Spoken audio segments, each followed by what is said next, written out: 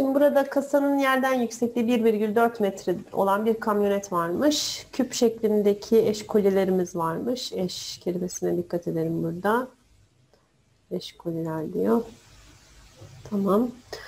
1,4 x x x diyelim. Bunlar küp şeklindeymiş. Yani yatay ya da dikey fark etmiyor. Kaç kattı? 4 kat var değil mi? O zaman toplam yükseklik 1,4 artı 4x kadar. 3,5 metre olan, yüksekliği 3,5 metre olan yaya geçidinin altından yaya geçidine değmeden geçebiliyormuş. Peki. Kolilerin bir ayrıtının uzunluğu santimetre cinsinden alabileceği en büyük değer. O zaman küçüktür 3,5 olmalı. 1,4'ü karşıya atalım. 1 2,1'den daha küçük. Her iki tarafı 4'e böldük. X küçüktür 22,1 Şimdi burada ne yapacağız arkadaşlar? Santimetre cinsinden dediği için 2,1'i santimetre çevirirsek 210 bölü 4. 210'u şurada 4'e bölelim. Ve 2'ye bölerim önce. Burası kaç yaptı? 105 bölü 2 bulmamız gerekiyor. Aa, 52 buçuk. Tamam. 52,5'dan daha küçük olması gerekiyor. En büyük tam sayı değerini sormuş. 52,5'tan bir önceki sayımız 52'dir. Doğru cevabımız B şıkkıymış.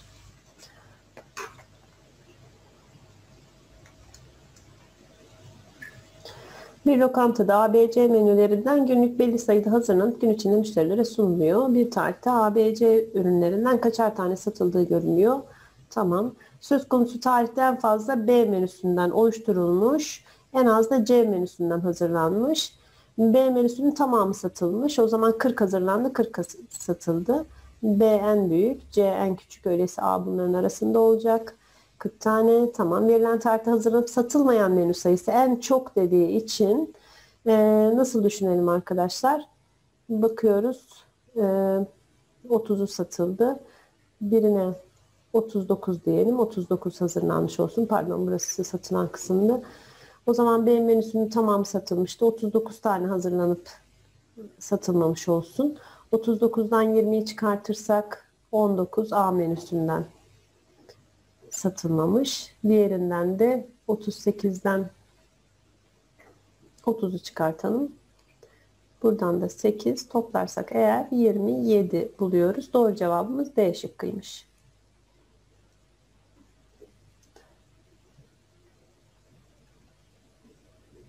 Feyza bürosunun 210 cm genişliğindeki penceresi için aşağıda e, perde yaptıracakmış. 210 cm genişliği varmış. Perdeciye ikişer santimetre boşluk kalsın demiş. Her iki yandan en fazla 15 santim taşsın demiş. 210 artı 15 bir daha 15 iki yandan da taşıyacak. O zaman 240 santimetre olacak en fazla genişlik. Peki Sonra ne diyor? Buna göre perdecinin hazırlaması gereken her bir store perdenin genişliğini santimetresinden alabileceği en büyük tam sayı. Bunlar eş olacağına göre x, 3x e, artı 2'lerimiz var. 3x artı 4'ün küçüktür 240 olması lazım. 4'ü buraya attık. 236'dan daha küçük olacak 3x. Her iki tarafı 3'e bölelim. 236'yı 3'e bölelim. 7 kere 21 26 yine hmm, bakıyorum 8 kere. 8 kere 3 kere 8 24 kalan da 2 devam ediyor nokta nokta. Tam sayı olacağına göre 78 diyoruz. Doğru cevabımız B şıkkıymış. Peki bakıyoruz her bir vagonu en çok 100 yolcu alabilen 5 vagonlu trenin vagonlarında yolcu sayıları ile ilgili aşağıdaki bilgiler verilmiş. En çok yolcu birinci vagondadır demiş. Tamam. En az yolcu dördüncü vagondadır demiş. Bu en az olacak. Ee, ikinci vagondaki yolcu sayısı beşinci vagondaki yolcu sayısının iki katından fazladır. Beşinci vagona x dersek şöyle yapalım. x diyelim. Şunu silelim. 2x'ten daha fazla olacak bu. 2x'ten büyük. Peki. Üçüncü vagonda da 40 yolcu vardır. Ya 40 yolculuk boşluk vardır. O zaman burada 60 desek, buraya 100 desek ama neye göre söylüyoruz? En çok istiyor. En çok istediği için birinci vagona 100 verdik. 40'ı çıkardık buraya 60 verdik. Dördüncü vagonun en az olduğunu söylüyoruz. O zaman burası x'ten daha küçük olmalı değil mi? Bunların arasında baktığımızda hmm, ya da 60'tan da küçük olmalı. Şimdi bakıyoruz ne olursa olur, ne olursa olur. X hmm, şuraya mümkün olduğunca büyük bir değer verelim. Mümkün olduğunca büyük kaç verebiliriz en fazla buraya? İki katından daha fazla olacak ikinci vagonumuz. 99 olsa burası mesela 98 2'ye bölsek 45 4 49. Buraya 49 kişi verirsek burasından da 99 verirsek olur. Daha fazla olması gerektiği için. O zaman bu arkadaşı dördüncü vagona en az değeri vermemiz gerekiyor. Buraya 48 kişi koyalım. Pardon 49'dan Aa, ters yazmışım onu. Hemen düzelteyim.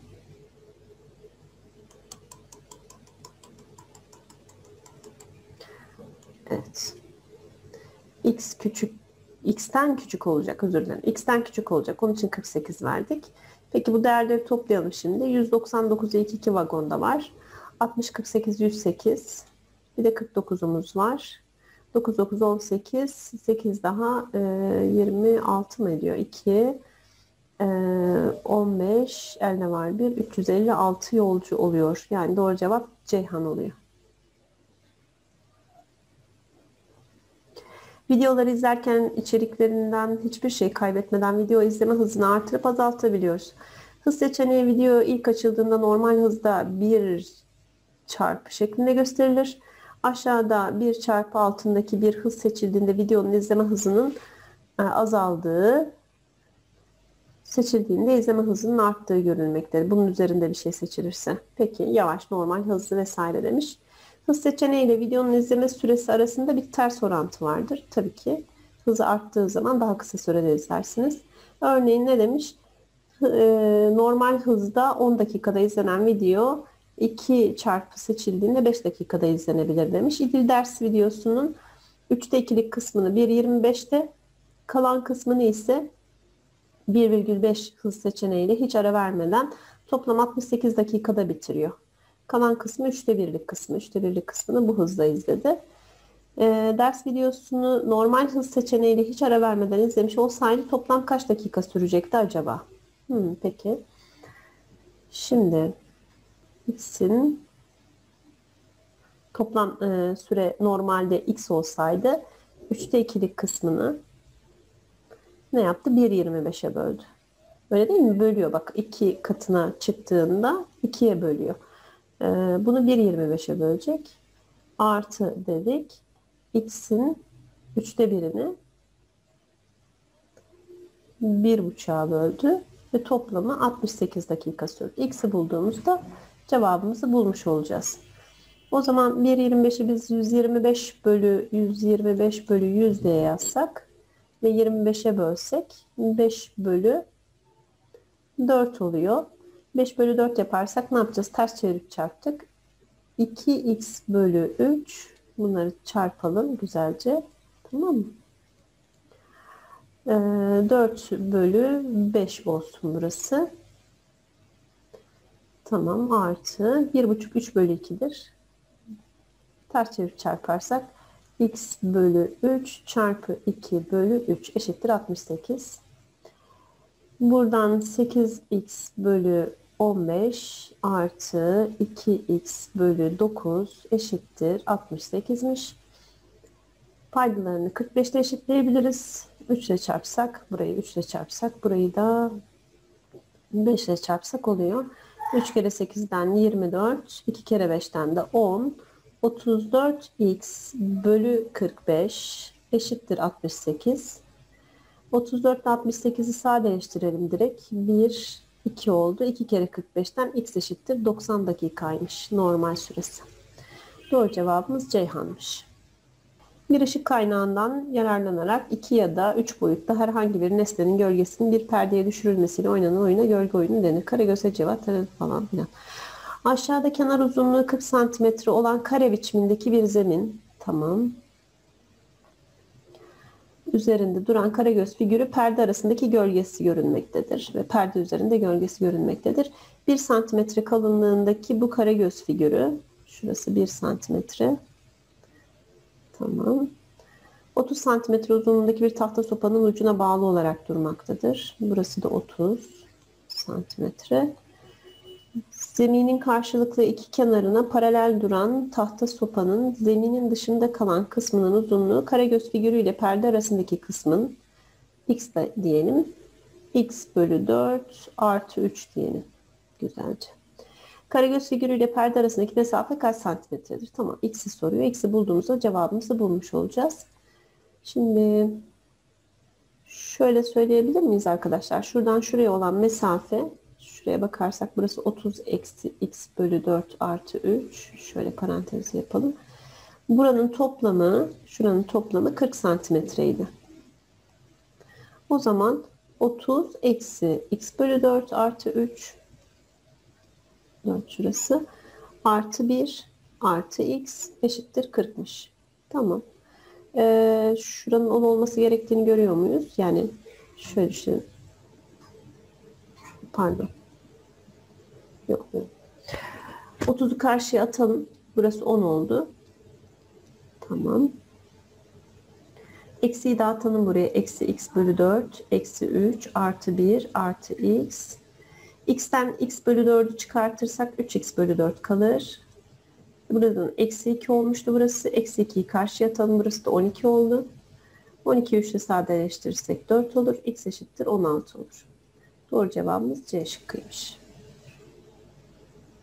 Bir otelde 1 Temmuz günü elektronik ekran üzerinde memnuniyet anketi yapılmış. Oteldeki müşteriler ekran üzerinde tercihlerden birini seçip birer defa memnuniyet anketine katılmışlar arkadaşlar. Sadece birer defa oy kullanıyorlar. Belirtiyorlar. Burada da ölçek görülüyor. Saat 12'de ve 5'te %80 memnunum demiş. %70 memnunum demiş. Bu aralıkta arkadaşlar saat 12 ve 17 arasında 110 kişi memnun, 90 kişi memnun değilim demiş. Hmm. Bu arada oy kullanan toplam 200 kişi var. Doğru mu? Diyelim burada x kişi oy kullanmıştı. Artı 200 olduğunda %70'e düştü. x kişiyken x'lerin %80'iydi. Tamam. x artı 200'ün ne oldu? 110 kişi daha x'in %80'ine memnunum diyenler 110 kişi daha eklendi. Bu kadar x artı 200 kişi de bu kadar kişi %70'e denk geliyormuş. Yüzde problemi. Böyle bakarsak bir işler dışlar yaparsak x artı 200 çarpı 70 eşittir 100 ile bunu çarptığımızda neyse yine de yazalım. 80 bölü 100 şunlar gidecek. Artı burada ne var? 110 çarpı 100 Tamam. O zaman buradan şöyle devam ettirelim. 70x artı 1400 eşittir 80x artı 11000. Şimdi şöyle yer değiştirsek. ha 70'i bu tarafa atalım. Burası e, şöyle baktığımızda 110 ile 100'ü çarptık değil mi? Evet. 1100 mi olacaktı burası? Herhalde 1100 olacaktı. Karşıya atarsak 300 oldu. 300 eşittir 10 kişi. 10x. Her iki tarafı da sıfırlarsak x eşittir 30 oldu. Bir yerde hata yapıyorum. Nerede hata yapıyorum? Şurada hata yapıyorum. Burada 0 vardı. Burada da 0 vardı değil mi? 70 ile 200'ü çarptık. Aynen 3 tane 0 olacaktı. Buradan 300 çıkacak o yüzden. Ha, tamam. 300 kişi. Önceden 300 kişi vardı. 200 kişi de sonradan eklendi. Toplam 500 kişi o zaman bu otele yerleşmiş. Şimdi sorumuzu bir dikkatlice okuyalım.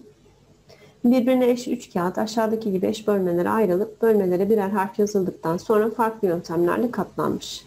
Şimdi burada arkadaşlar bakıyoruz 2'ye bölünmüş, 3'e bölünmüş, 4'e bölünmüş. O zaman diyeceğiz ki hem 2'ye hem 3'e hem 4'e bölünebilen en küçük sayı kaçtır? 2, 3, 4 ekokunu alalım. 12. Diyelim ki burası 12K olsun. 12K ise 2'ye belli ki şurada hani şu daha oranlarına bakarsanız 2'ye böldüğümde 12'yi 2'ye bölersem eğer ne buluyorum? 6K. Burası 6 kat. 12'yi e, ne yapmışız arkadaşlar? Burada 12'yi 3'e bölmüşüz. 4 kat oldu. 12'yi 4'e bölmüşüz. 3 kat oldu. Şimdi bunlar hepsi bu enine buraya sığıyorlarmış. Doğru mu? Kısa kenar uzunluğu kaç santimetredir? Evet. Böyle yerleştiriliyor. Çakışacak bütünlü poşet dosyayı aşağıdaki gibi yerleştiriliyor. Tamam. Şimdi aradaki farka bakarsak burası 10K'dan 3K'yı çıkartırsak 7 kat. Şimdi 7 kat sayısal anlamda neye denk geliyor? 19,4'ten 12,4'ü çıkartalım 7. 7 santimetre 7 kata denk geliyor. Öyleyse 1 kat 1 santimetredir. Şurası öyleyse 3 santimetre. Şimdi bu uzunluğu soruyordu bize. 19,4 ile 3 toplayacağız. 19,4 ile 3 toplayacağız. 4, 22, 22,4. Doğru cevap Ceyhan'mış. Bir eczacı deposu karayoluyla ulaşımın zor olduğu bir eczaneye ilaç gönderimini hava koşulları uygun olduğunda uçan göz yani drone e, yapıyormuş. Uçan gözler gönderimin yapılabilmesi için yağmur, dolu, kar gibi yağış koşullarının olmaması gerekiyormuş. Hmm. Aşağıda hava durumları verilmiş. Baktığımızda çarşamba, perşembe, pazartesi uygun görünüyor. Diğer günler uygun değil. Yukarıdaki tabloda eczacı deposu ile eczanenin bulunduğu bölgenin geçen haftaya ait hava durumu bilgileri verilmiş. Geçen hafta eczacı deposundan eczaneye hava koşullarına uygun olduğu her gün bir defa uçan gözle ilaç gönderimi yapılmış. Uçan gözün eczacı deposundan eczaneye gidiş süresi, depodan eczaneye gidiş süresi dönüş süresinden %25 daha uzun. Neden?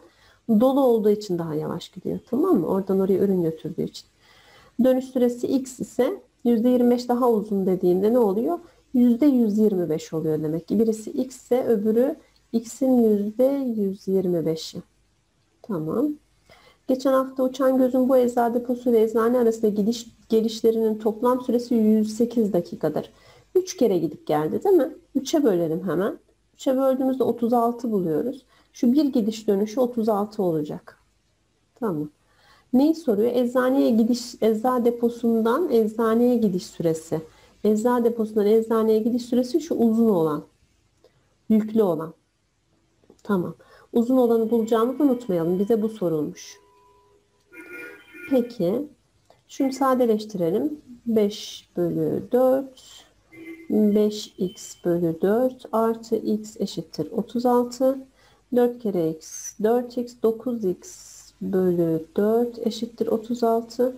36 ile 9'u sadeleştirelim 4 olsun. x eşittir 16. 16'nın %25'i daha fazla ya da 4'te 5'i. 16'nın 4'te 5'ini bulalım. %125'i ya da 4'te 5'i. Şöyle 4'e bölerseniz burası 4. 4 kere 5'ten 20 dakikada gidiyormuş. Böylesi doğru cevabımız B şıkkı olacaktır.